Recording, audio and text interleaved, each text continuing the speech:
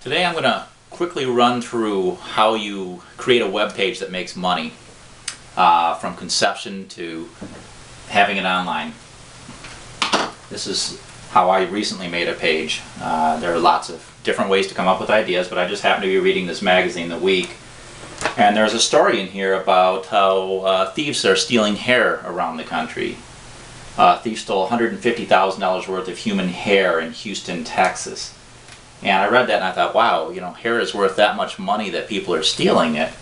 It must be worth quite a bit to those who want to sell it. So I decided to do some research.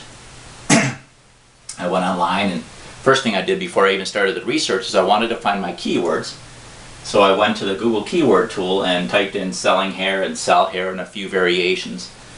And after looking at the competition and the amount of searches, I settled on the term selling hair. And that's actually what I titled my page. There are 4,400 searches a month, and it's relatively easy competition, so I should be able to get in the search results in a matter of weeks. Uh, then I went to do research, and I put in selling hair, and sure enough, there are one or two articles out there about how to sell your hair for money. And so I read through those, I took notes, put them in a notepad file, and uh, set those aside. And then I did another search. I went and I searched we buy hair because I wanted to find specific places that bought hair.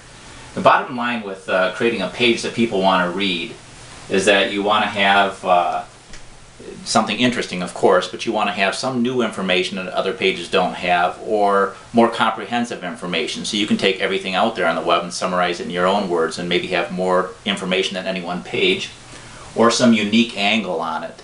Uh, for example, in here I suggested that you could cut a deal with somebody at a beauty salon to buy ponytails that were cut off and then resell them for a profit. Believe it or not, hair sells for up to $1,000 for a, for a good length of ponytail.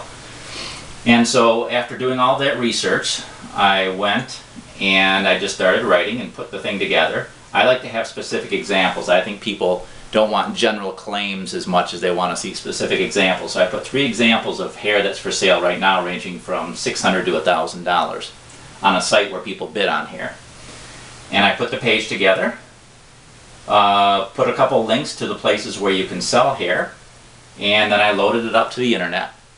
And hopefully in a matter of a month or two it'll start making a couple dollars a month that doesn't sound like a lot, but if you have a thousand or two or three thousand pages eventually that are all making a few dollars a month, it really adds up.